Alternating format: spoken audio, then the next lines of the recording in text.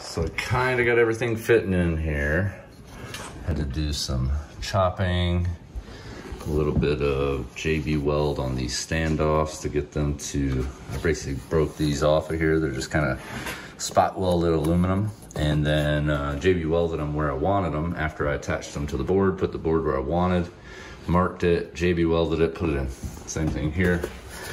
Got this screwed in, run it through nice and uh, nice and cool. Should be a good airflow. And then uh, we'll see what happens. I gotta let the JB weld set up overnight and I need to wire in a power button and front ports. But otherwise, I think it's pretty much done. We'll wait till tomorrow, see how it looks.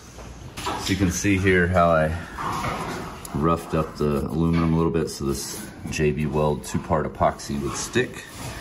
Kind of missed there, but whatever. But you just break off the standoffs where you don't need them and re-glue them down. I screwed them to the bottom of the board right here. And then I sat them down and uh, kind of wiggled it around until it made a mark somewhat. Then you rough them up, glue them down, let it sit with the motherboard pressed up against where you want it. Uh, cut this out for what you need. The one thing I wish I would have done differently was the fans could have been bolted to this assembly, which sucks because I screwed them to the cage with some black screws. So that could have easily just slid in and it locks in on its own over here away from the motherboard by itself. And then I know I'm so aggravated that I did that, but that's the artist in me. I had been working on it all day and I just started screwing them in. I didn't even, I completely forgot that I had that and that I intended to use it that way, but whatever, it's, it's done.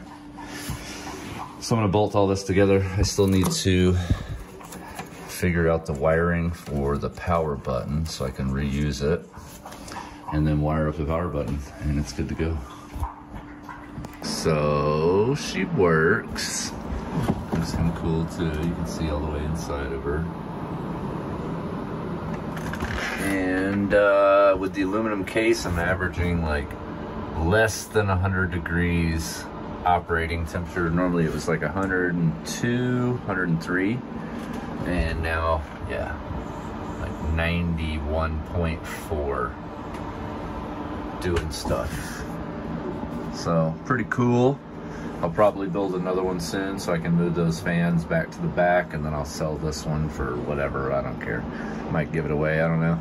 Shipping's pretty cheap now that it's not so dang heavy, but it's still big. so, like if you like, subscribe if you want to see more, and as always, keep on modding. Eh?